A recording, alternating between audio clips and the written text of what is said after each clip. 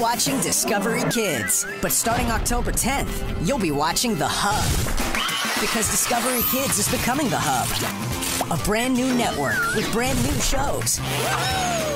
For kids and families. I like it. Very impressive. For more information, check out hubworld.com slash hubtv. It's filled with games, videos, and lots of stuff to know about the Hub. The Hub, coming right here on 101010.